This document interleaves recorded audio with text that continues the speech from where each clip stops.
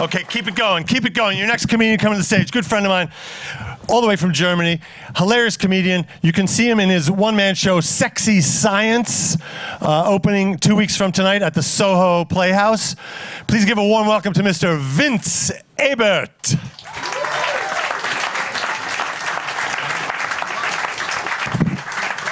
Thank you. Thank you for this overwhelming applause. Um, yeah, yes, it's true. I'm a, a, German comedian and I'm also a physicist. German physicist, double the fun.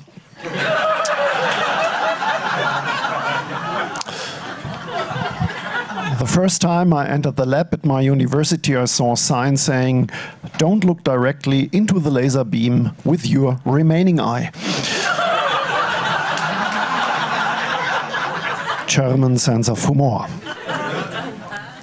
I was always interested in science. When I was 10, I took my canary in its cage outside during a lightning storm just to check if Benjamin Franklin was right.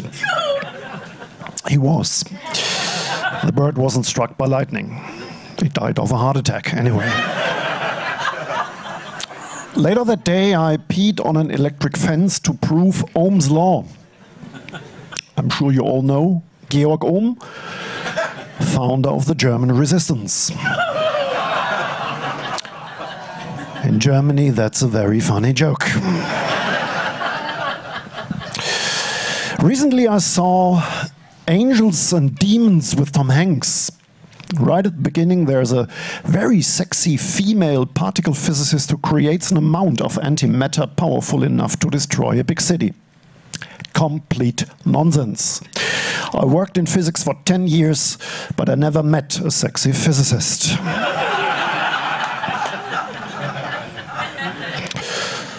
In July, I moved from Germany to New York City for one year to make science great again.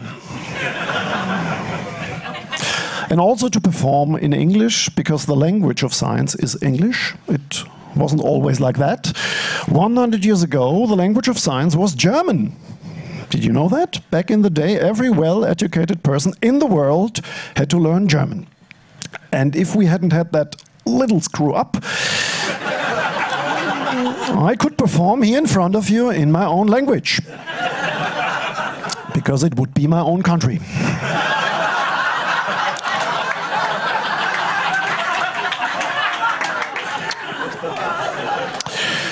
Was born and raised in a remote village in Bavaria. I'm sure you all know Bavaria. It's like Texas without guns.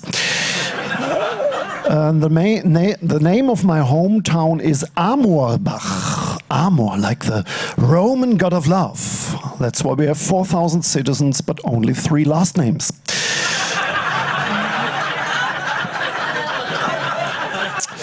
It's also a very Catholic area, very religious people there. And I can remember when I was a child, I was forced to go to the Holy Mass every Sunday. Of course, I did. Only once in my childhood, I skipped. Three days later, the Pope died. I felt guilty for years, like a good Catholic is supposed to.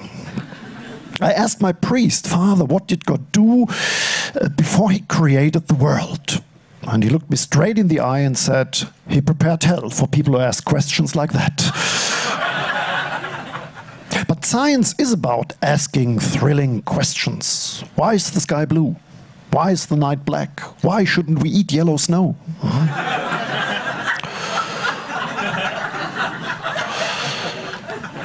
and people often ask, as a physicist, what do you think of astrology? And I tell them, I don't believe in astrology. I'm a very skeptical person, a typical Scorpio.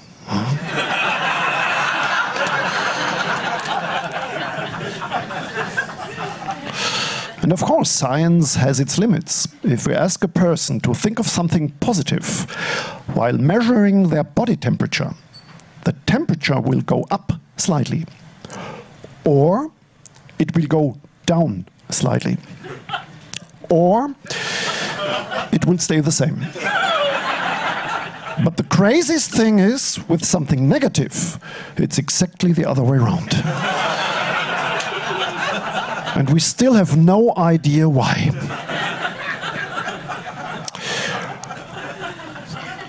After university, I couldn't find a job, and people gave me the advice you have to network. You get a job by talking to people. I studied physics because I don't like talking to people. I'm not a very social person. Every time I get a call with an unknown number, I pick up the phone and say something like, It's all done, but there's blood everywhere.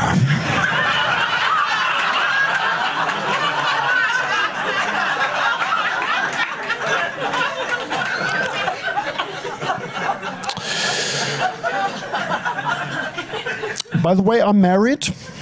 Sorry, ladies. And the secret of our marriage is we both have the right chemistry. Prozac. and we don't have children. Makes life much easier. In our bathroom, the drain cleaner is right next to the mouthwash. because we can read.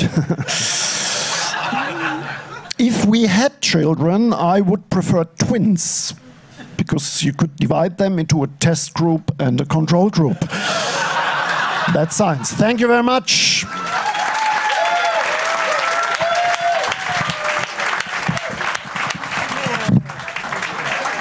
Keep it going for Vince Ebert. Again, his show, his show is called Sexy Science. You can see he's got the package. Good night.